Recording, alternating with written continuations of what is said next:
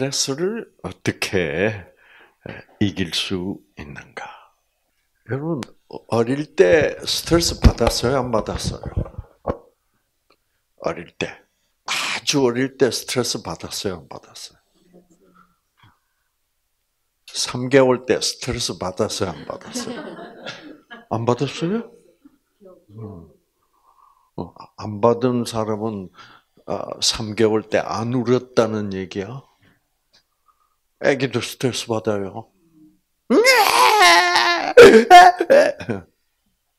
스트레스. 사실 그때 받는 스트레스는 우리가 요즘 받는 스트레스보다 더 커요. 어. 왜?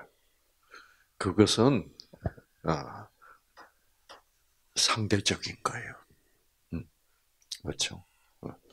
그, 그 우는 거 보세요. 얼마나 비참하게 울어요, 애기들. 그렇죠?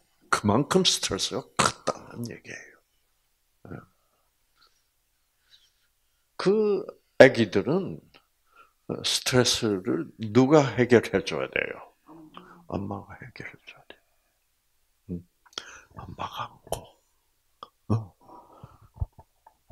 두드려 주고, 예, 예. 안아주고, 만져주고, 말도 안 통해. 그럼 스트레스가 풀어져. 결국 그거는 아기도 스트레스를 어떻게 풀어야 될지도 알아 몰라 모르는 거예요. 엄마도 근데 엄마는 이 아기 스트레스를 풀어 주는 방법을 알아요. 뭐 주면 풀린다? 사랑 주면 풀린다. 그래서 스트레스라는 것을 어, 우리가 요즘도 스트레스를 많이 받는데 이제는 스트레스를 풀려면 사랑을 주면 된다, 사랑을 받으면 된다는 그런 생각은 우리들 안중에 없어. 스트레스를 풀려면 뭐야? 술 먹으면 된다. 스트레스 풀려면 뭐, 어, 뭐 여행을 가야 된다. 뭐, 뭐, 뭐, 이런 식으로 사랑이란 것이 그렇게 중요한 줄을 몰라. 음. 특히 우리가 병이 났다, 아프다. 그런 가장 어, 치유를 시키는데 효력이 있는 게 뭐겠어요? 그것도 사랑이에요, 알고 보면. 왜? 질병이란 것이 스트레스의 결과로 생긴 거예요. 스트레스의 결과로 그 나쁜 영향력이 아, 그러니까 베타파, 감마파가 돼서 결국 유전자를 망가뜨려 놓은 것이 질병이에요. 음. 그래서 무엇이든지 그 원인을 알면 문제 해결은 아주 쉬워요. 음. 자, 그러면 우리가 스트레스의 원인은 뭐예요? 음. 네. 스트레스의 원인은 맞아요. 욕심이야. 그 욕심대로 채워지지 않으면 스트레스를 받는 거야. 어. 그렇죠. 이기심이 원인이에요. 이기심이 채워져야만 행복하고 이기심이 채워지지 않으면 어떻게? 스트레스 받는 거예요. 이게 정상이에요, 비정상이에요? 사실 비정상이에요. 근데 우리는 이거 이런 현상, 욕심이 채워지지 않을 때, 이기심이 채워지지 않을 때, 예, 상대방이 내가 원하는 대로 해주지 않을 때 스트레스 받아. 그렇죠. 예, 상대방이 나한테 예, 내가 원하는 것을 해주지 않으면 우리는 우리는 미워져. 그렇죠. 그그 미워진다는 말은 상대방에 대한 내 마음 속에 있는 사랑이 없어진다는 얘기예요. 그게 우리 유전자를 끄고, 어, 그렇죠. 우리의 베타파를 만들고, 유전자를 끄고, 질병을 일으키는 스트레스의 원인이에요. 어. 알고 보면, 스트레스라는 것을 복잡하게 생각할 게 하나도 없어. 스트레스의 근본 원인은, 아, 이기심, 아, 욕심, 그런 거예요. 어, 그러면 이기심과 욕심의 뿌리 원인은 뭘까? 이래서 뿌리를 찾아 들어가면 문제들은 아주 간단해져요. 이기심과 어, 욕심의 원인은 뭐예요? 음. 이게 여러분한테는 지금 너무나 쉬운 질문이어야 됩니다. 왜? 여러분은 이미 답을 다 알고 있으니까. 그런데 알고 있는 답 을 물어봐도 대답을 못하는 이게 이제 문제야, 아시겠죠? 응. 자, 이기심과 욕심의 그 근본적 뿌리는 우리들의 사랑이 조건적이기 때문이야. 무조건적이면 무조건적 사랑은 이기심이 있어요, 없어요? 이기심이 없어요. 자, 조건적 사랑은 누구 중심적 사랑이에요? 나 중심적, 자기 중심적 사랑이에요. 어. 그래서 조건적 사랑은 상대방이 나를 어떻게 해주기를 바래? 섬겨주기를 바래요. 그래서 우리는 섬김을 받을 때 뭐예요? 기분 좋아. 음. 이게 비정상이다 이 말이에요. 음. 여러분, 그렇죠. 그래서 섬김을 받을 때 기분 좋은데 잘 섬겨줄수록 더 기분 좋고 행복하고 섬겨주는 게 마음에 뭐예요? 안 들고 뭔가 부족하면 짜증나. 맞아요, 맞아요. 그래서 철저히 우리는 누구를 막론하고 다 정상적으로 아, 조건적 사랑을 하고 있기 때문에 이기적일 수밖에 없고 그러므로 그 결과로 상대방의 섬김을 어떻게 우리가 요구하고 있는 거야. 어? 그래서 잘 섬겨주는 남편을 만나면 참 좋은데 어, 맨날 섬기라고만 그러면 미워져. 그렇죠.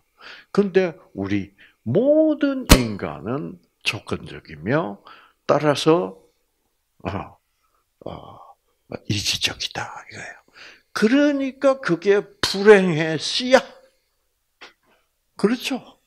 그러므로 어 우리는 불행해져 버리고 그, 그거를 이유로 해서 유전자는 꺼져가고 그래서 병이 들고 늙어가고 그래서 그 결과는 뭐예요? 사망, 죽음이다 이 말이에요. 그래서 우리는 죽는 것도 우리는 정상적이라고 생각하면서 살아 안 살아? 정상이지 뭐. 안 죽는 사람 어디 있어? 당연히 죽는 거야. 하나도 그거를 비정상이라고 생각하잖아. 그래서 모든 사람은 인간은 다 죽는 거야. 정상이야. 근데 그 죽는 거를 비정상으로 선언하는 책이 있어요. 그 책이 뭐예요? 성경이요. 그게 비정상이야. 본래 그렇게 죽게 돼 있잖아. 그 죽는 건 왜 죽는다고? 너희들이 조건적 사랑이 옳다고 하는 생각을 사단으로부터 받아들인 거예요.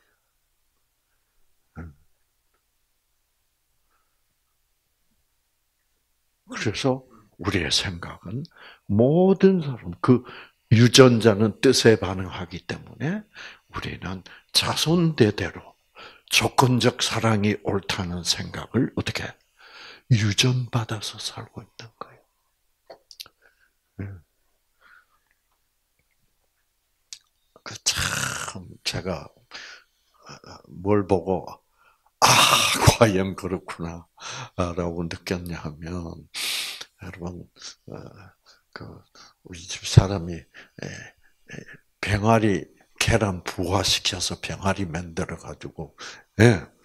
근데 뭐 그러기를 좋아해서 닭장도 있고 그러잖아요. 그래서 계란 부화를 여러 번 시켜봤어요.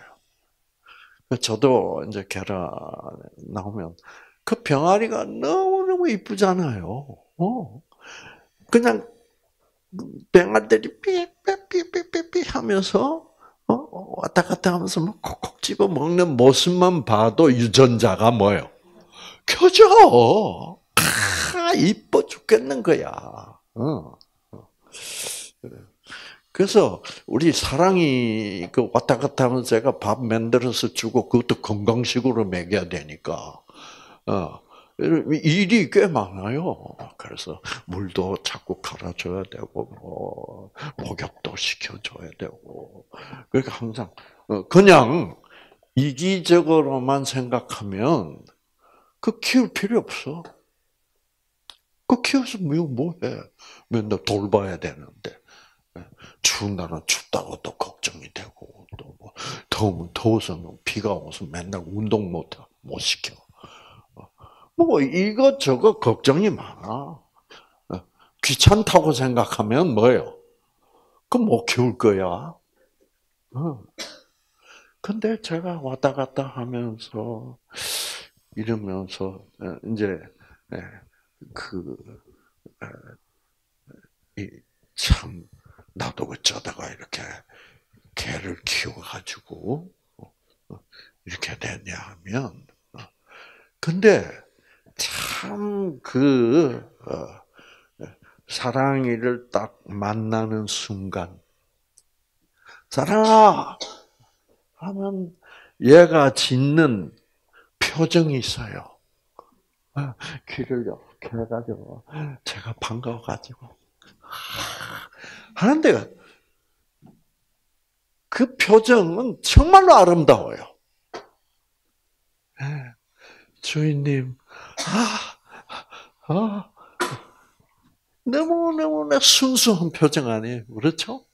어, 그래서 우리가 순수한 아기의 표정을 보면 유전자가 켜지고 진짜 아름답잖아. 어, 어, 우리 사랑이는 그 보면 싸나운 표정이 하나도 있어 없어. 한 점도 없어. 그래서 그러니까 개 치고는 좀 쪼다죠. 싸울 줄도 모르고.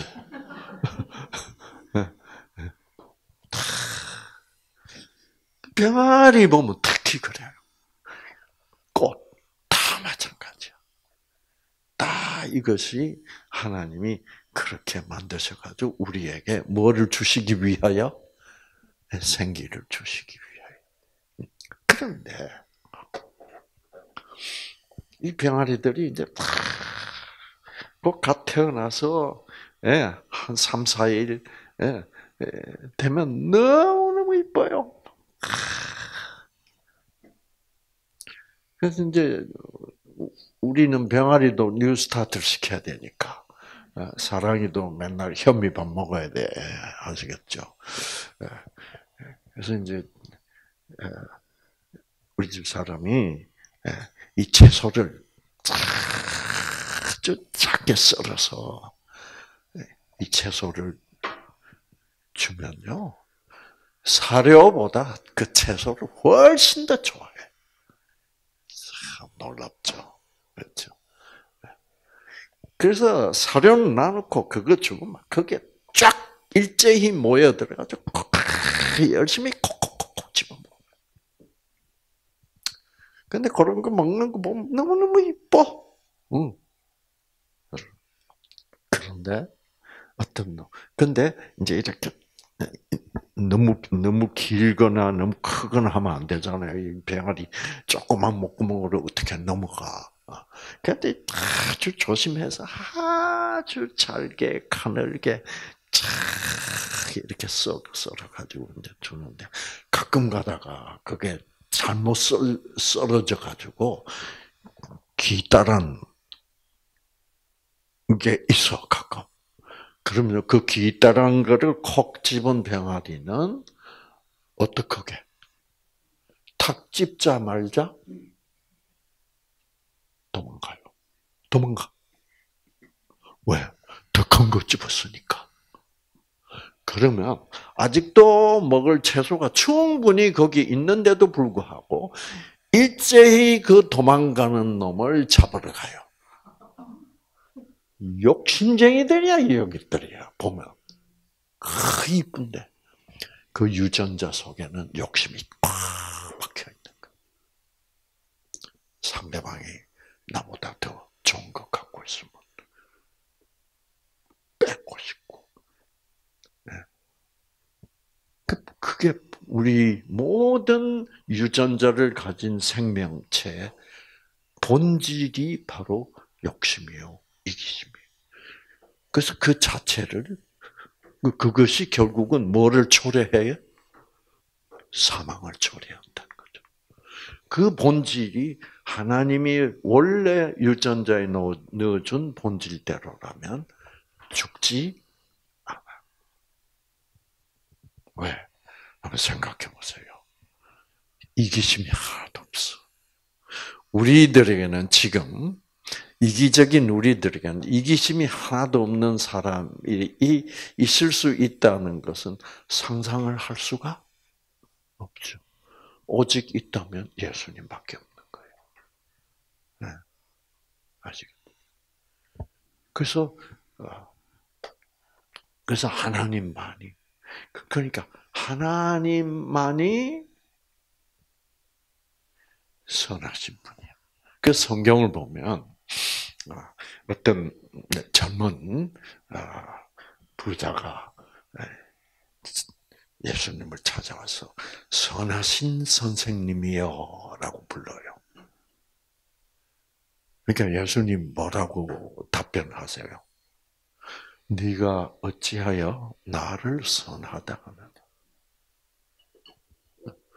선하신 분은 오직 하늘에 계신 아버지 한 분밖에 없습니다. 이 말은 아주 심각한 말이에요. 그 말은 무슨 말이에요? 선하신, 선한 존재가 존재하지 않는다. 그래서 우리, 그러나 우리는 우리들끼리, 뭐요? 아, 이상구 박사님 봐봐. 얼마나 선하게 생기셨어. 그러면 이상구라는 놈은 뭣도 모르고 자기는 뭐예요? 선하다고 인정받으니까 자기는 선한 줄로 알아. 이렇게 살아가고 있는 인간이라 이 말이에요. 그래서 하나님은 우리에게 뭐라 그래요? 선한 사람은. 왜? 선한 사람이 없으니까 안 죽는 사람이 없죠. 사망은 악의 결과예요.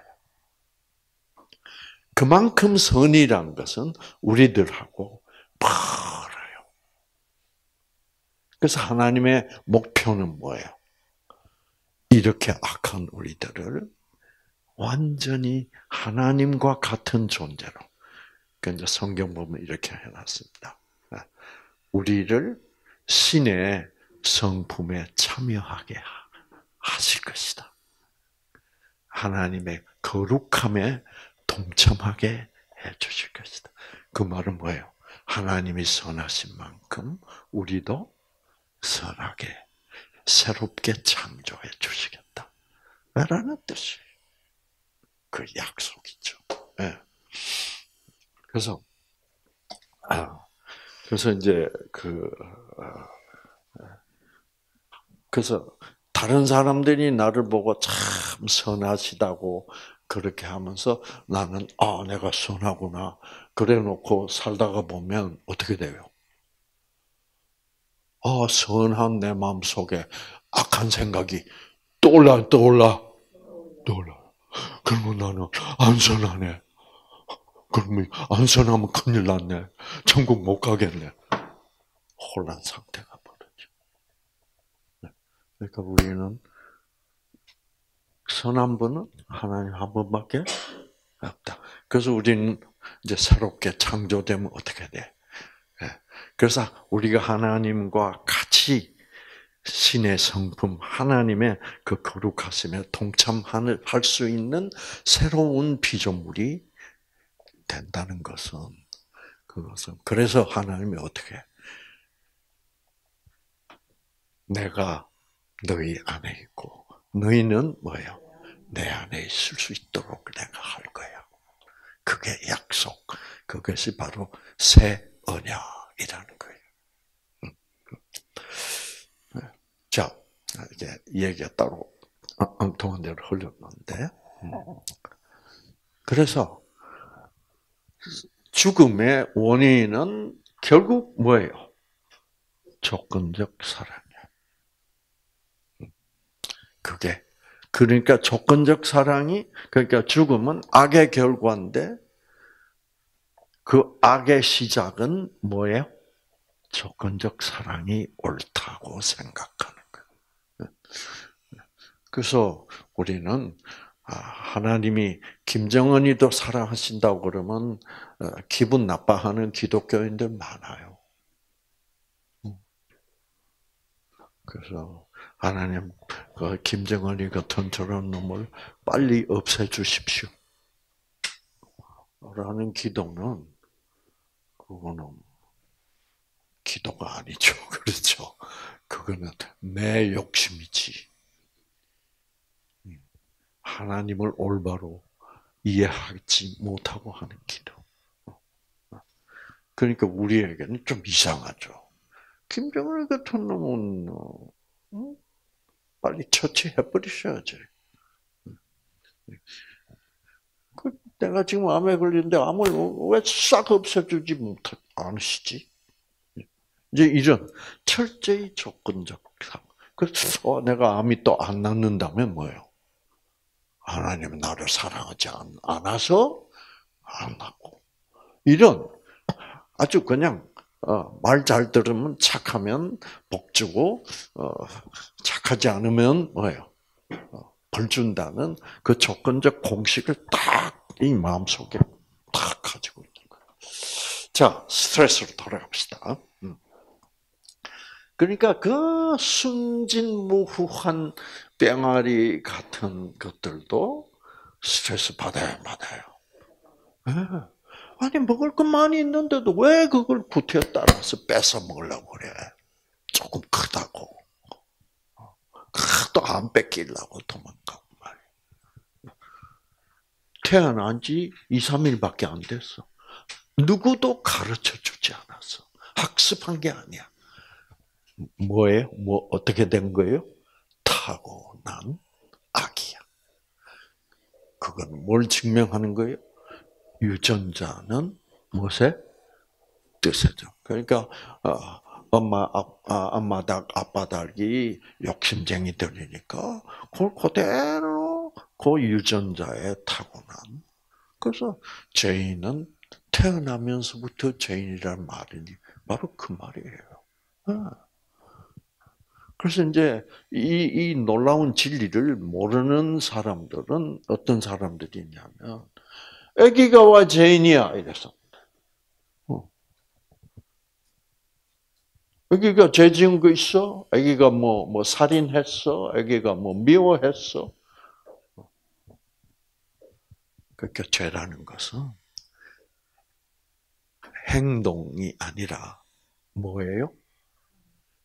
예, 본질이에요, 본질. 우리 인간은 본성을 어떻게 본래 하나님의 본성을 심어놨는데 그, 그래서 하나님의 형상대로 하나님이 사람을 지으시고 그랬죠. 그런데 우리는 그 형상을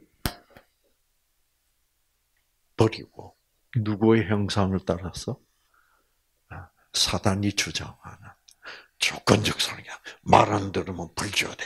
이게 우리한테 이 모든 세상 시스템이 그렇게 돼. 자, 그러니까 제가 이제 강조를 하려는 점은 스트레스의 모든 스트레스의 뿌리는 뭐예요? 조건적 사랑에 있다. 음. 자, 그러면 뿌리만 해결하면 모든 것은 다 풀려? 스트레스는 풀려. 그러니까 여러분 스트레스를 풀려면 어떻게 되면 풀리는 거예요? 아, 그 애기가 하다가도 엄마가 우리 애기 우리 애기 만져주고 그 촉감과 그 부드러움과 예, 그 응, 그거를 네. 그러니까 이 엄마의 젖가슴은 여러분 아기가 이 젖가슴으로부터 뭐를 빨아요? 젖을 빨아. 네. 그러면 예, 이 젖가슴에 이렇게 얼굴이 얼굴을 문질러 주면 아기가 뭐요? 그 배고프 배고픈 것도 스트레스 아니에요, 그렇죠? 근데 그 젖가슴에 가면 아 그래서 빨면 아 배고픈 스트레스가 쫙 해결이 돼. 그래서 그래서 그 여성의 젖가슴 유방이라는 것은 정말 생명의 상징이야. 거기서 애가 자라고 그래서 먹고 자라고 하니까. 어, 어. 그래서 이제 어 이제 그렇기 위하여 하나님이 인간을 그렇게 만들어 놨는데 그게 뭐의 상징이 돼 버렸어요? 섹스. 그래 놓고 사단은 뭐예요? 섹스는 나쁘다. 어. 그래가지고 그거를 그러니까 그걸 조건적으로 비틀면 사랑은 사라지고 뭐가 돼 버리니까 섹스 심볼. 그래서 그걸 또 도덕적으로 정죄를 하고, 네. 이거는 나쁜 거예요. 어. 이래가지고 완전히 이 생각 속에서 어떻게 돼? 생각이 얽히고 그래서 뭐가 왜왜 왜 섹스가 나쁜지 이게 지금 전문의들이 생각을 못 하고 있는 거예요. 결론을 못. 모든 게 헷갈려. 그게 지금 이 세상에. 그래서 뭐, 그 저는 어, 그 여러분 하나님이 만드신 모든 것이 정말 아름다워요. 어. 그러니까 만드신 것 중에 가장 아름다운 게 뭐예요? 사람이요. 사람. 사람이 꽃보다 아름다워요, 안 아름다워요? 상대가 안 되죠. 근데 이게 사람이 부정적인, 조건적인, 이기적인 욕심이 들어오고 하니까 이게 찌부러지는 거야. 변질되는 거예요. 되면서 우리가 서로 서로를 쳐다봐도 별로 아름답지가 않아. 이렇게 돼 있다. 그러니까 여러분, 여러분 정말 가장 인간이 아름다운 모습은 아 어떤 어떤 순간이에요. 하나님의 사랑을 깨달아서 하나님 정말 감사합니다 할 때야말로 뭐요? 그 인간이 가장 큰 모습도 아름다운 순간이에요. 인간이 제일 추할 때는 언제요? 그렇게 이쁜 얼굴인데 어떤 순간에 그 보기 싫어요. 증오심에 차서 두고 보자. 하나도 안 이뻐.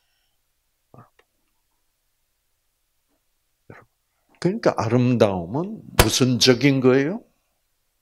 영적인 거예요. 그래서 스트레스를 푼다. 는 말은 결국 무슨 말이냐면 조건적인 상황에서 내가 스트레스를 꽉 받고 있는데 그 상황을 어떻게 하면 풀어요? 무조건적 사랑이 들어오면 그 스트레스는 풀려. 간단하게 표현하면 제일 쉽게 표현하면 이 방이 전기불이 다 켜져서 캄캄해. 어둠으로 꽉 찼어. 뭐가 오면 밝아져요. 빛 간단해. 네. 어둠에는 빛이 오면 밝아지고 그게 스트레스가 풀리는 그러니까 증오시면 증오심은 어두운 마음이에요, 아니에요? 어두 어두움이지. 흑암이지. 그게 뭐가 들어오면 빛, 그 빛은 뭐예요? 하나님의 사랑, 하나님의 말씀. 그, 그 말씀 속에 생명이 있으니 생명은 사람들의 빛이라. 딱 이렇게 되어 있잖아요.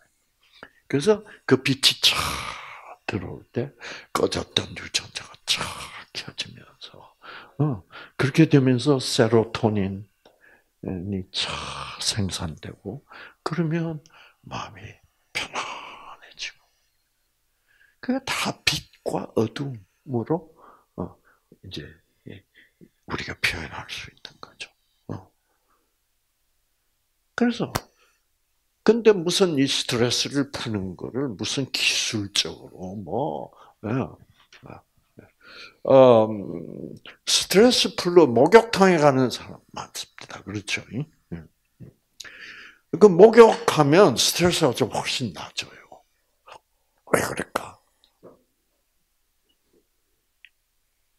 왜 그럴까?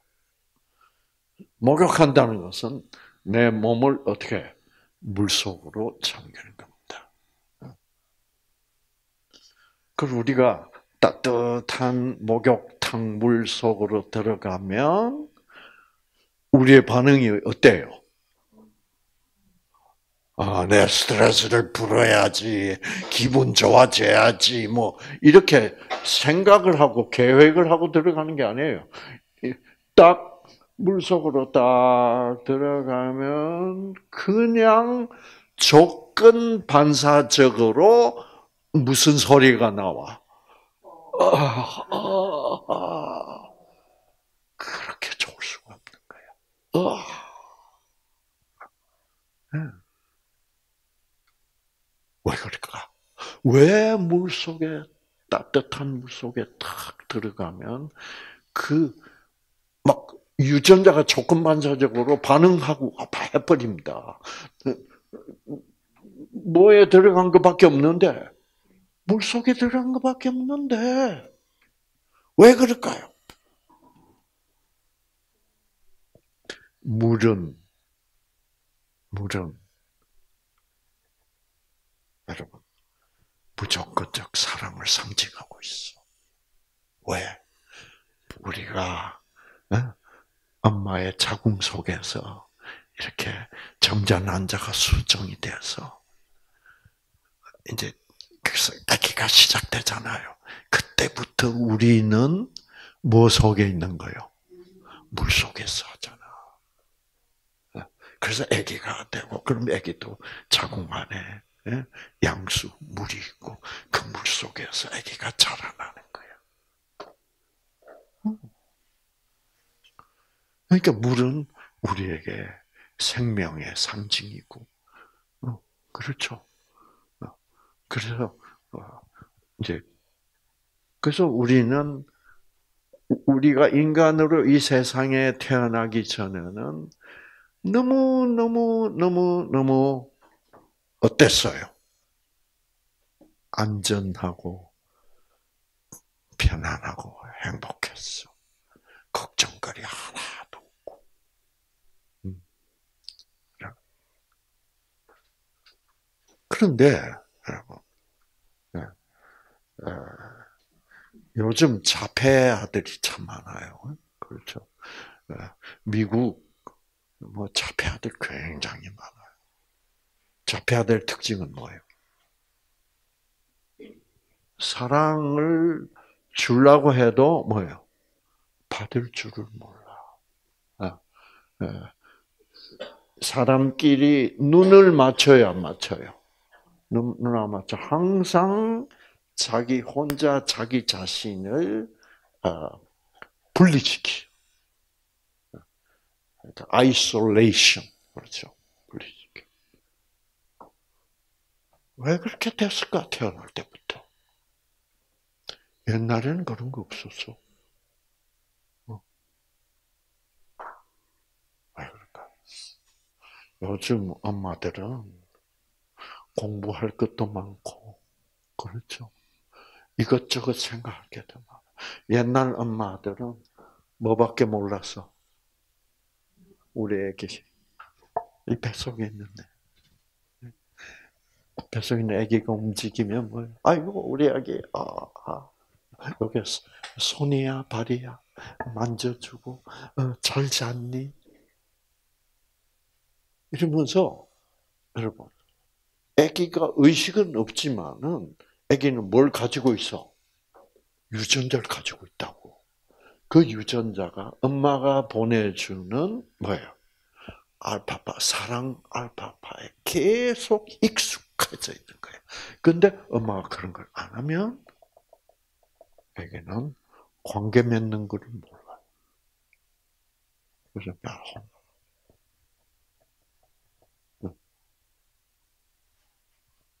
우리에게 잘 잤냐? 그럼 자기를 닫아버려. 그게 자폐죠. 그렇죠. 자기를 닫아서 열지를 않아 상대방. 그런 것이 다 그 엄마가 너무너무 어, 시험 친다고 바쁘고 뭐 한다고 바쁘고 바쁘고 그래서 아기와 놀아줄 시간이 이 아기는 누구하고밖에 못 놀아요? 엄마밖에 없어. 근데 엄마가 못 놀아. 시간 없어. 이런 비극이야. 그러니까 얼마나 그래서 이제 여기가 자폐아로 태어나면 그 돌보느라고 얼마나 힘들어. 음. 자, 이제 그래서 어, 아기가 좀 커서도 예를 들어서 어, 이제 아빠가 멋진 장난감을 사줬어. 어, 그네 살짜리한테. 그래서 애기가 아파트 그 어, 어린이 놀이터에 그 장난감 가져가서 이제 자랑을 하면서 놀고 있는데 어떤 놈이 큰 놈이 와 지나가다가 보고 탐에 나서 뭐야 팍 뺏어서 도망가서 스트레스요 아니요? 네. 비참하게 웁니다. 으아! 자기의 가장 소중한 장난감 뺏겼어. 얼마나 큰 스트레스요. 어? 억장이 뭐예요? 무너지고. 여러분, 유전자 팍탁 꺼집니다. 그때 즉각적으로 그 스트레스를 풀기 위하여 누군가가 지금 도움이 필요. 네. 죽겠어. 어. 그때 나오는 소리가 뭐예요? 엄마야. 엄마. 그래서 이제 자기 집으로 이제 올라가요. 엄마. 내 엄마는 벌써 어? 놀이터에서 나는 소리를 듣고 어 우리 애기. 그래서 엄마가 문 열고 나오면서 애기를 안고 어, 왜 그래? 그 새끼야 장난감을 뺏어가서 막, 막 혈압 오르고 막 형편없죠 유전자 상태는 막 어떻게 해야 돼? 안아줘야 돼. 엄마의 가슴을 느끼고 여러분. 그래서 목욕탕에 목욕물에 들어갈 때도 아 이렇게 되는 게 왜 그러냐면 자동적이에요. 그것도 그 목욕물에 탁 들어갔을 때는 그 무의식 속에 이렇게 존재하고 있는 그 아기 때 엄마 뱃속에서 가장 뭐예요? 편안했던 그 의식, 무의식을 느끼는 거죠. 어. 그래서 아 근데 여러분 어, 한번 어, 남편이 이제 직장에서 돌아왔어. 에 오늘 스트레스 많이 받았어. 음. 그러면 부인이 따뜻하게 목욕탕 물을 데워놓고 여보 그럼 목욕 좀 해 일단. 그러면 스트레스 풀려요 안 풀려요? 풀리는데 마누라 여보 나 바빠서 물을 못 받아놨는데 일단 목욕탕에 들어가. 물 없는 목욕탕. 스트레스 풀려요 안 풀려요? 신경질만 더 나지. 그런 거예요. 물은 아무것도 안 해요. 물은 물일 뿐이야. 그러나 물이 가지고 있는 뭐가 중요해? 의미, 뜻. 왜? 결국 유전자는 물에 반응하는 게 아니라 뜻에 반응해요. 그래서 뜻으로 그러니까 스트레스라는 것은 나쁜 뜻이 들어왔을 때, 그 자식이 내 장난감을 팍 빼서 도망가니까 얼마나 분하고 얼마나 억울하고 화가 나요. 그거를 잠재워 줄 수 있는 것.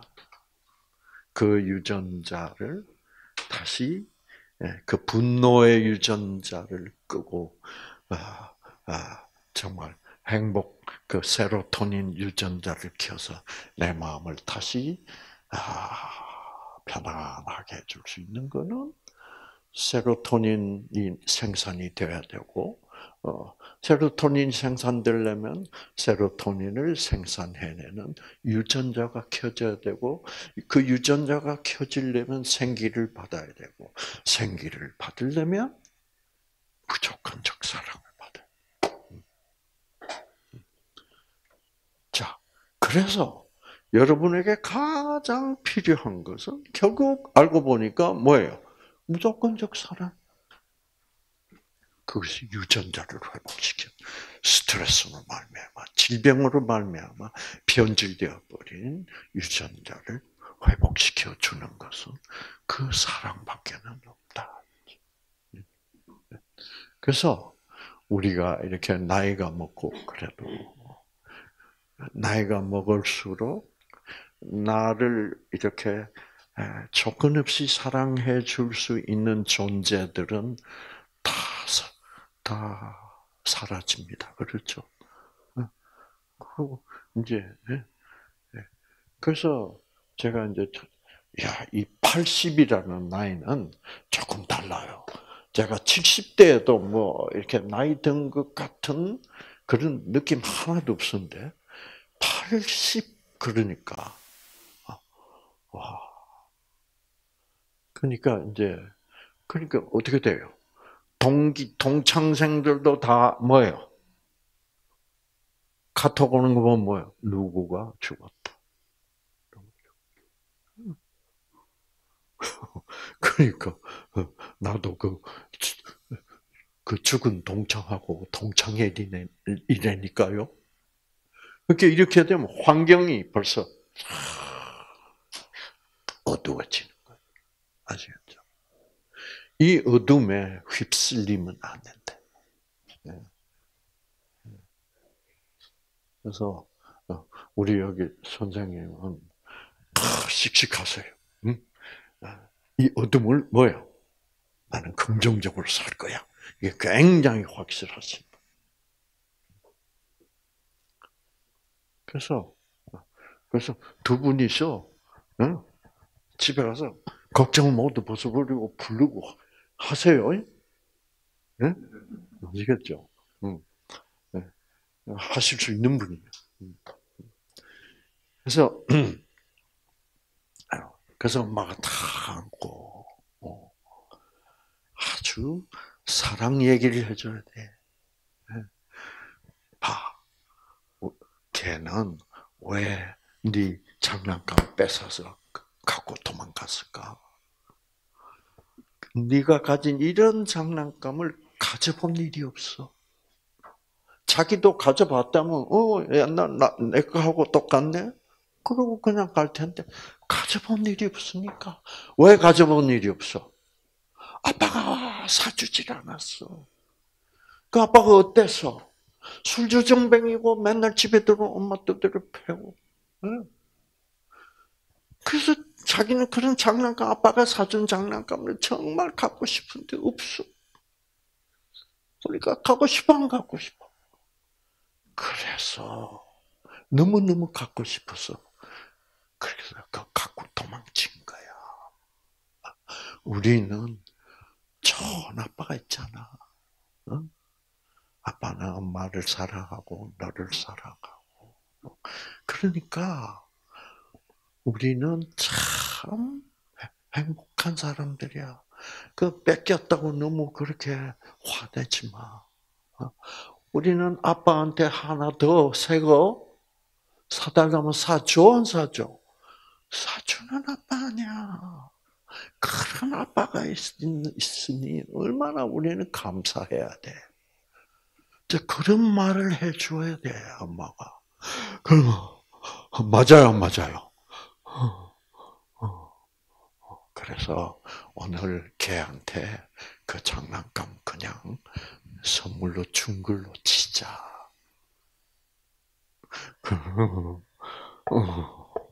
다 풀렸어. 뭐로 풀렸어? 사랑의 말씀으로. 말씀, 말로 풀리는. 무슨, 뭐가 들어 있는 말? 무조건적 사랑이 들어 있는 말. 그러니까 뭐라 그래야? 이제, 이렇게 다 잔잔해지고. 그러면 오늘 엄마가 아빠한테 얘기해. 어, 엄마가 전화해서 어, 장난감이 이렇게 없어졌으니 아빠 얼마든지 사줄 거예요. 어. 그 엄마가 근데 엄마가 얘기하는 것보다 네가 얘기하는 게 나을 것? 어, 그, 그러면 내가 아빠한테 전화할게. 그리고 짜잔 나가서 놀아 놀아. 여러분 스트레스는 무조건적 사랑으로만 확실하게 풀. 다른 거 뭐 어쩌고 저쩌고 하려고. 근데 이제 문제는 여러분들이 그 무조건적 사랑을 이제 제가 이렇게 설명할 만큼 잘 모르잖아. 그게 이제 문제. 그래서 여러분 집에 가시면 이 2부 세미나를 잘 들어야 돼요. 어, 어, 그래서 그 어, 아, 하나님의 무조건적 사랑이란 것은 이런 거구나. 그래서 이 하나님은 모든 것을 모든 것을 다 사랑의 눈으로 보고 계세요. 아시겠죠? 자, 우리 이거 한번 봅시다. 엄마쥐예요. 그러니까 이쪽 엄마쥐는 사랑이 많아요. 어. 여러분, 어, 닭들도요, 사랑이 많은 닭들이 있고, 사랑이 별로 없는 닭들도 있고, 그래요. 어. 사랑이 많은 닭들은 어때요? 계란이 딱 보이면 어떻게 해? 어, 나, 날개가 그저 벌려져 자기도 모르게. 그리고 가서 어떻게 해요? 부모 사랑이 없는다고 계란을 보고도 별로 품고 싶어 하잖아요. 어, 그왜 그럴까? 엄마 품에서 엄마 암탉이 품고 이렇게 부화해서 그 태어날 때부터 엄마를 알고 예, 엄마가 또 탁 뭐 요거 먹어봐고 콕콕 집잖아요. 그러면 지가 또 탁 집어서 먹고 그래서 엄마만 쫄쫄 따라다니고 엄마 날개 아래서 그렇게 사랑 안에서 사랑받고 살은 병아리들은 나중에 사랑이 많고 태어났는데 엄마가 엄마란 게 없어. 그 부하가 기에서 태어나. 그래서요, 부하기에서 이 병아리가 태어나니까 우리 집 사람을 엄마인 줄 알더라고. 그래서 옛날에 우리 방 안에서 부화를 시켜서 방 안에서 키웠던 병아리들을 음, 근데 맨날 우집 사람이 가서 다 이렇게 그 청소해주고 어, 병아리 똥 치워주고 뭐 신문지 갈았던 거 갈아주고 물 샘물 주고 또 채소 썰어서 넣어주고 하니까 우리 엄마야. 그래서 이제 이뻐하고 그러다가 나중에 되면 요 병아리가 커지면 똥도 많이 싸고 냄새가 너무 나요. 그럼 할 수 없이 같이 못 살아. 그래가지고 이제 다른 곳으로 이동을 시켜 놓으면요. 잠을 안 자요, 요것들이. 삐약! 엄마 막 찾아요. 네. 그래서 집사람이 가면 막. 어, 어, 어. 네. 손에도 앉아. 떠나지 말라. 그죠. 그만큼 유전자를 가진 생명체들은 사랑이 필요해요. 아시겠죠? 그래서 우리가 요세미테 폭포를 봐도 우리에게 우리 유전자를 켜주는 생기를 주시기 위해서 저렇게 아름답게 창조했다. 감사하다. 는 것이 특별히 암 환자들에게는 특별히 그런 뜻을 받아들이는 것이 정말로 좋아요. 그게 혹시라도 거짓말일지라도 그 거짓말일지라도 그 거짓말을 진짜라고 뭐요?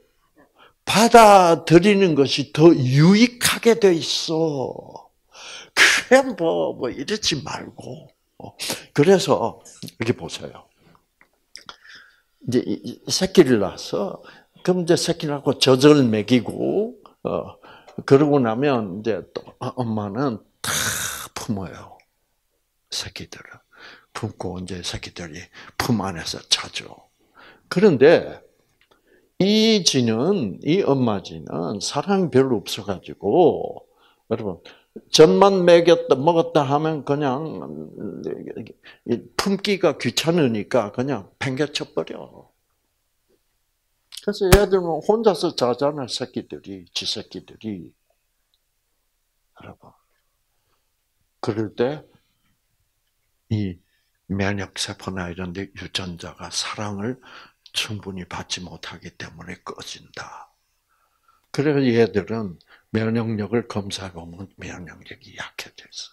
그런데 과학자들이 말해요. 이 엄마 질을 이 질을 일로 보내고 이 질을 일로 보내니까 어떻게 될게? 그러니까 여기 이 엄마 새끼들은 면역력이 강하겠어 안 강하겠어? 왜 이렇게 사랑을 받으니까 강해요. 어. 근데 이 엄마지가 일로 오고 이 엄마지가 일로 가면 이 면역력이 약하던 지가 다시 어떻게 이 새 엄마지로부터 사랑을 받아가지고 면역력이 강해져요. 그리고 면역력이 강하던 이 새끼지들은 이 엄마가 또 손만 매겨놓고 팽개치니까 어떻게 면역력이 약해져요. 그 사랑이 이런 거다. 예? 이것이 진실이다. 사랑이 들어가야 진실이지. 사랑이 빠진 것들은 다 뭐요? 사실이야, 사실. 바위에서 물 떨어지고 뭐, 뭐, 뭐 유전자가 뭐 어, 저절로 진화하고 뭐 사실, 과학적 사실. 우리는 진실을 받아들여야 돼. 그게 그게 거짓말인 수도 있겠지만 그 거짓말지라도 사랑을 포함해서 이런 거를 사랑으로 받아들일 때 아, 내가 진실 과학적 사실을 진실로서 받아들이는 것이고 그 속에 사랑이 있을 때 우리는 그 사랑으로 치유를 받을 수 있다는 거죠. 자, 그다음에 여기 보세요.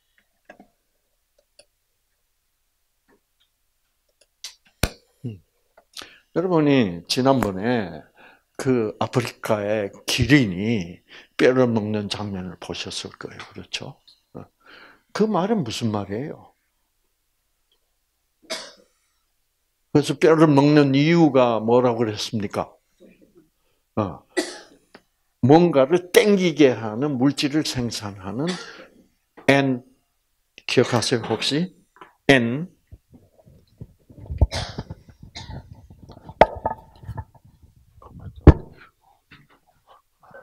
그 시험 치는 날이 언제지?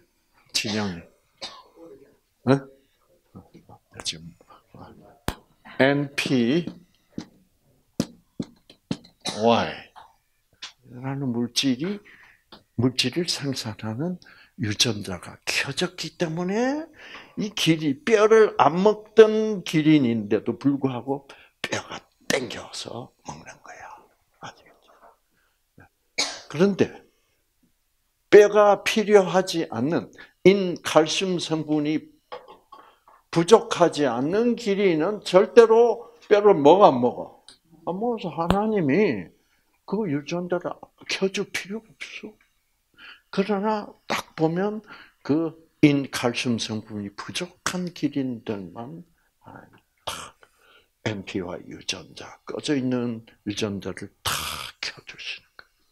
그래서 아, 먹게 해서 예, 부족했던 인 칼슘 성분을 섭취하게 하는 그것을 아, 그것이 사랑이 아니고 뭐냐?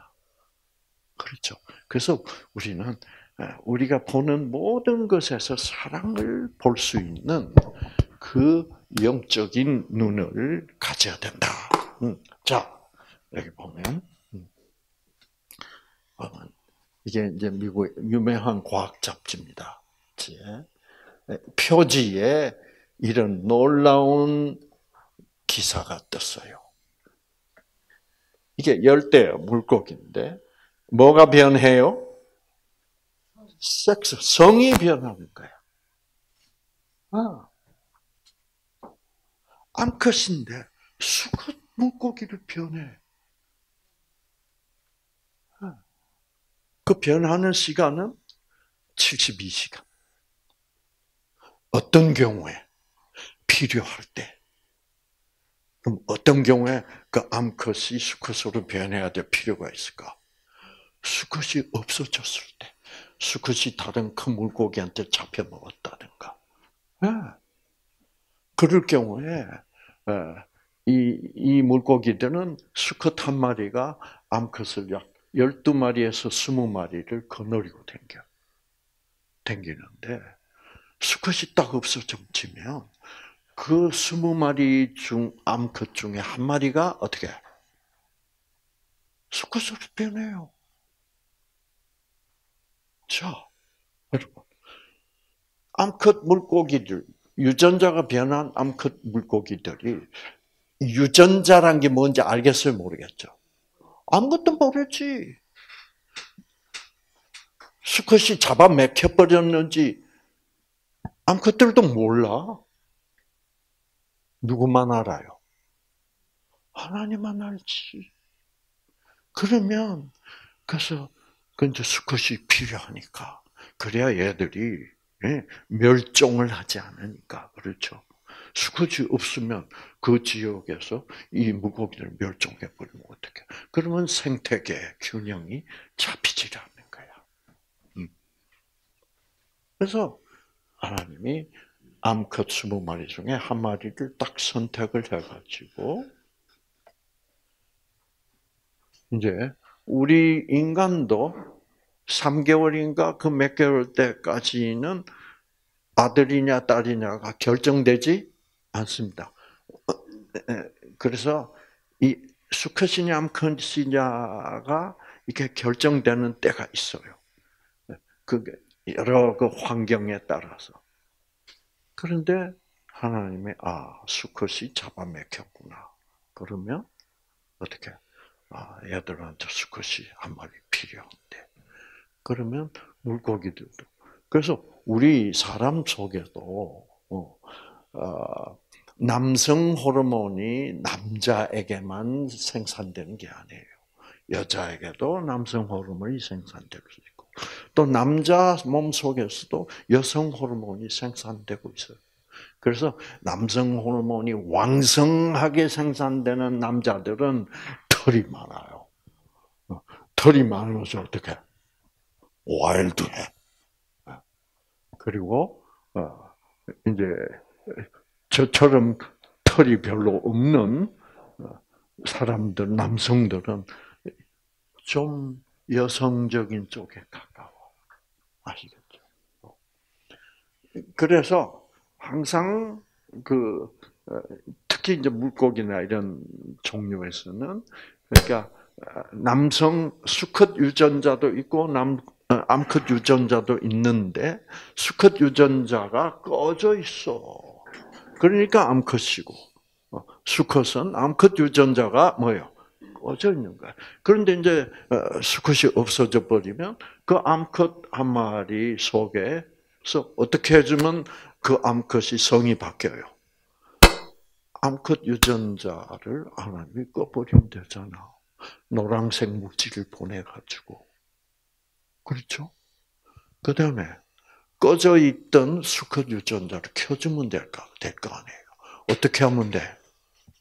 생기를 보내서 노란색 유전자를 어떻게 떼버려. 어, 그러면 수컷 유전자가 켜지고 암컷 몸에서 켜져 있었던 암컷 유전자를 꺼져버려. 그러면 저 72시간 시간 동안에 쭉 변해서 그 암컷이 수컷이 돼버린다는 이 놀라운 사실을 발견한 거예요. 그러니까 이 사실은 모든 전지전능, 모든 것을 아시는 전지전능하시며, 그 다음에 모든 생명체를 창조하셨기 때문에 그 생명체를 사랑하시는 하나님이 유전자를 그렇게 변화시킬 수 있는 재주는 하나님밖에 없어. 아시겠죠? 어. 그래서 그 하나님의 하나님이 아 얘네들은 어, 암컷 한 마리를 수컷으로 만들자. 그래서 어, 그렇게 되는 거예요. 음. 그래서 그러나 그런 하나님의 전지전능한 존재를 인정 안 하면 그뭐뭐 뭐, 뭐 암컷이 없어 어, 수컷이 없어지면 또 암컷 중에 하나가 또 그렇게 되는 거야. 그렇게 말해버려도 어떻게 할 수가 없어. 네. 그러나 그런 시각, 그런 사실적 사실만 딱 봐버리는 시각은 결국 내 유전자에 아무런 영향을 미치지. 그래서 이런 걸 딱 보면 아 이렇게 하나님은 자 그러니까 이거는 뭐냐면 진짜로 필요할 때 암 환자가 되면 우리가 필요해 지금. 어? 아마 암세포가 정상세포로 돌아가야 되기도 하고 그 다음에 뭐요? T세포 꺼진 유전자가 꺼진 유전자가 켜져서 암세포를 죽여야 돼. 네. 그래서 그럴 때 필요할 때 하나님이 직접 유전자를 변화시킬 수 있다는 것을 증명하는 거죠. 맞아요, 맞아요. 네. 그래서 특히 이제 이런 장면을 보면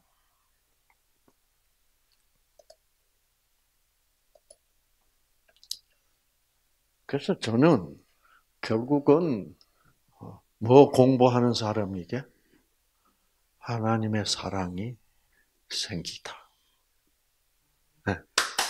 네. 하나님, 하나님, 하나님의 사랑은 이런 것에도 나타나 있다. 하나님은 기린도 돌보신다. 물고기들도 돌보신다. 네. 그 다음에 하나님은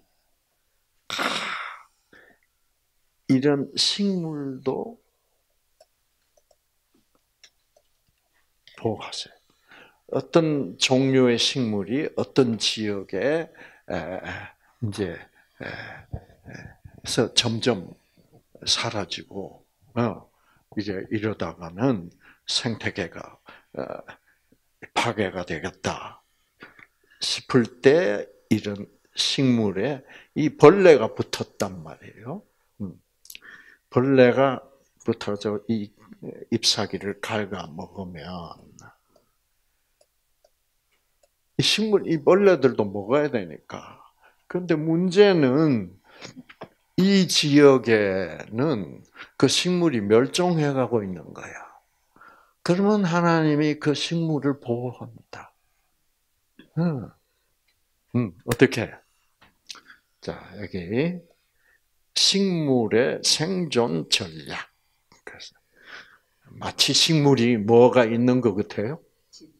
지능이 있는 것 같아요. 그래서 여기 보면 아, 제목이 식물에도 지능이 있다. 아, 와, 누구의 지능일까? 여러분, 어, 물고기를 물고기 암컷을 수컷으로 변화시키는 것을 과학자들이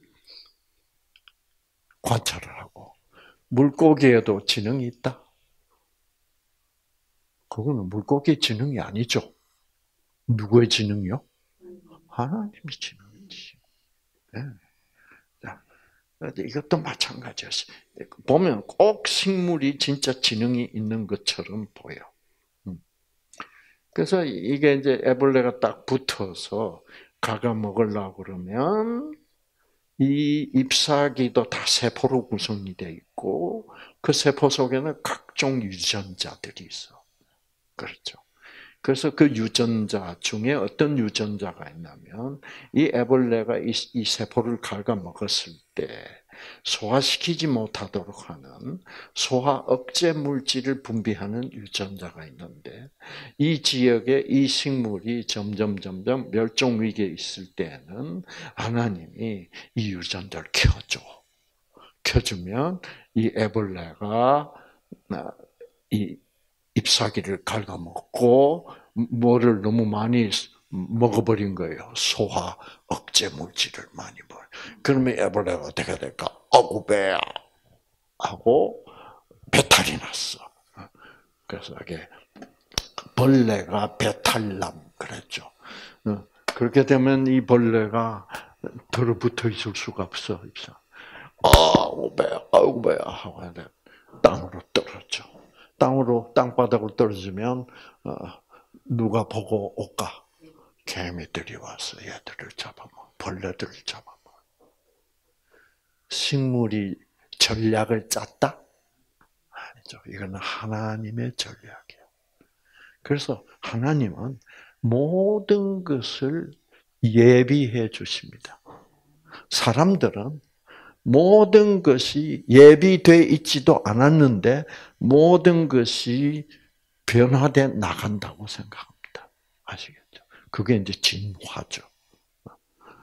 그래서 여러분, 인간이 암에 걸렸는데, 암에 걸리기 전에 이미 하나님은 뭐예요? 암세포를 죽일 수 있도록 딱 예비를 했어요, 안 했어요? 그게 나타나요. 그런데 그게 아니고, 하나님이 예비를 안 했는데, 아, 예, 나중에 암 세포가 생겨서 그때 이제 아, 아, T세포가 만들어져서 암 세포를 죽일 수 있도록 됐다. 그토록 진화해 가고 있다. 그렇게 되면 여러분 큰일이에요. 암세포가 생길 것을 창조주가 미리 알고 암세포를 죽일 수 있는 방도를 미리 취해 놔야지. 암세포가 생기고 나서 어허 이거를 어떻게 하면 좋지 하고 후속적으로 처리하시는 분이 아니라 예비 벌써 프로그램이 짜져 있는 것이 유전자예요. 만약 그 T세포도 안 만들고 T세포 안에 암세포를 죽일 수 있는 물질을 생산하는 유전자가 없었다면 우리 모든 인간이 살아남아 있는 인간이 있을까 없을까? 없죠. 한 사람도 있을 수 없죠. 다 죽어버리지. 그리고 다 죽어버리면 뭐, 뭐, 진화되고 안 되고 할 수가 없죠. 모든, 모든 것이 다 계획이 돼 있다. 근데 계획은 어디까지 계획이 돼 있다? 천국 가는 거까지 계획되어 있다는 거죠. 그래서 이 성경책은 그런 하나님의 계획, 그리고 그 계획을 발표하면서 하나님은 그 계획이 뭐예요? 우리들에게 주는 약속이에요. 예. 나는 꼭 약속을 지킬 것이다. 그래서 성경은 성경 전체는 약속입니다. 명령이 아니에요, 명령. 그래서 성경을 뭐라고 불러요, 사람들이? 옛날 약속, 구약, 새 약속, 신약. 성경은 몽땅 약속이라는 것을 깨닫지 못하면 명령 지키라고 애써다가 볼일 다 봐. 성경이 약속인 줄 알면 뭐예요?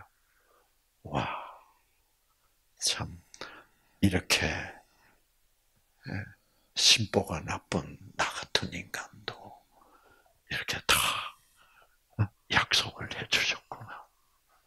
그 약속의 증거가 뭐예요? 어, 왜 약속을 할 수 있어?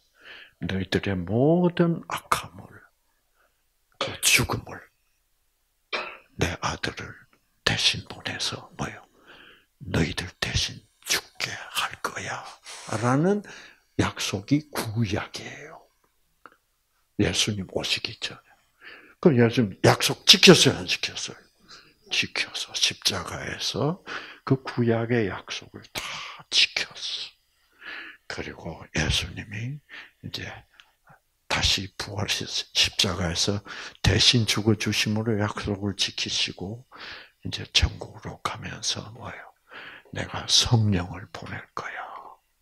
그래서 너희들이 정말로 너희들을 새롭게 새로운 피조물로 다시 창조해서 그때가 되면 너희와 나와 하나가 될 것이요.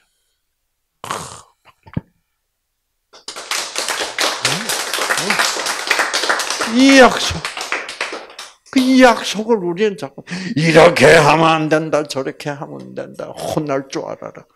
이러고 있는 거예요, 지금.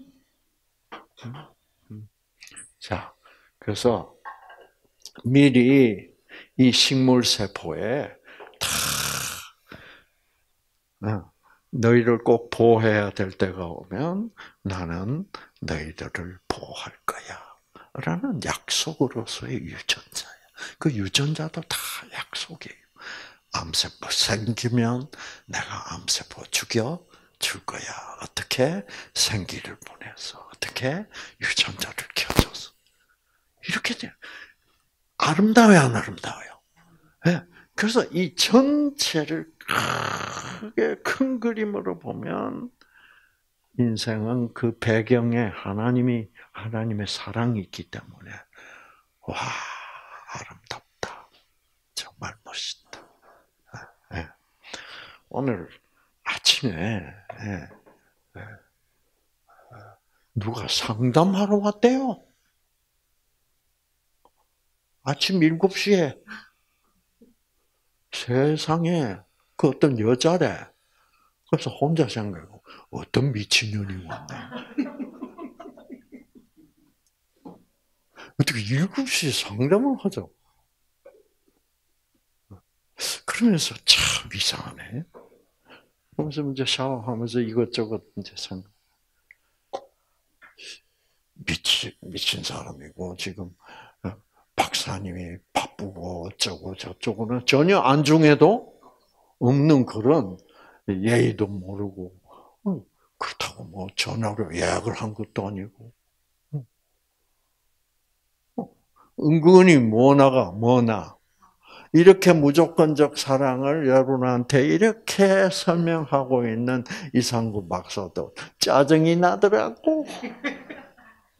네. 그럼 그치 왜? 내 유전자가 짜증 나도록 조건적으로 탁 굳어져 있기 때문에. 네. 그래서 이제 예. 근데 또 반대로 생각을 해봤어요. 얼마나 급하면 어? 이렇게 찾아 일찍 이렇게 찾아왔을까? 아마 뭔가 조금 특별한 사람일 수도 있겠다. 그래서 이제 선방에서 아침 식사를 같이 하면서 상담을 했어요. 자기가 암에 걸렸대요. 이광암이래. 근데 자기는 하나님이 치유하실 수 있다는 것을 확신을 얻고 싶어서 왔대. 그래서 어, 당신 그 암을 어떻게 해석하시냐? 그랬더니 과거에 스트레스 받은 뭐 이런 저런 어, 그 삶이 참 힘들었어. 그래서 아 아마도 하나님이 지금까지 살아온 삶과 나를 암 걸리게 한 삶과 다른 삶을 살게 하시려고 암에 걸린 거거든. 와, 여러분 긍정적이에요, 부정적이에요. 네. 그래서 제가 참 기특한, 응? 기특한 사람이다. 그래서 상담을 잘해서 보냈어요. 뉴스타트 잘하고 잘할 사람. 그래서 네. 그래서 참 어떤 어떻게 긍정적으로 받아들이냐.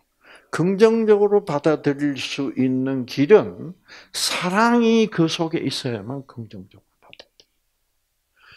그냥 하나님 뭐 그런 거 없으면 결국 병 걸린 것은 뭘로 어, 해석돼 버려요. 더럽게 재수 없네. 여러분, 그거는 사실이에요. 그러나 진실은 아니야. 진실은 그 속에 하나님의 계획이 있어. 네. 자, 그래서 보세요. 그 다음에 이제 이게 첫 번째 예, 배탈나게 만드는 방법. 두 번째 방법은 여기서 이제 이 잎사귀를 갉아먹으면 이 양쪽 그 근처 잎사귀의 세포 속에 무슨 유전자가 있냐고 하면 이러한 향을 향도 화학 물질 아니에요, 그렇죠? 여러분 향수도 다 화학 물질입니다. 그냥 냄새가 아니라 그 화학 물질을 생산해서 공중에 뿌려주는 유전자가 있어. 그 유전자의 그, 그 유전자를 하나님이 보실 때, 아, 이거 이렇게 너무 갉아먹으면 이, 이 식물이 이 지역에서 멸종할 것 같다. 그러면 하나님이 이 유전자의 생기를 다 보내. 그러면 그런 향이 쫙. 그러면 그게 말벌들이 좋아하는 향이에요. 말벌들, 음, 맛있는 냄새가 난다? 어디서 이렇게 맛있는 냄새가 날까? 하고 와보니까 애벌레가 있어, 없어? 있어. 그래서 그 애벌레를 잡아먹어버려요. 어. 네. 이런 것이 다 하나님의 그 전지전능한 최고의 과학자, 최고의 유전자 의학자이신 하나님이 미리 그 계획을 이런 경우에는 이렇게 하고 저런 경우에는 저렇게 해야지 하는 그, 그 뜻을 그 생각을 어떻게 유전자에 입력시켜 놓고 그 다음에 필요할 경우에는 하나님이 그 유전자에 생기를 보내셔서 이렇게 식물을 보호하신다. 그래서 하나님은 식물까지도 계속 돌보시고 계시고 관찰하고 계시고 그리고 위기에 처하면 보호해서 이렇게 식물을 살리신다. 그런데 하물며 그 다음 무슨 말이 나와야 돼? 그 다음에 예수님이 하신 하물며 그런데 하물며 너희 사람일까 보냐 너희 사람일까 네. 너희들 사람 아니냐 어. 얘들 식물 잎사귀 하나도 나에게 중요하지만 너희들 사람만큼 중요한 것은 없단다.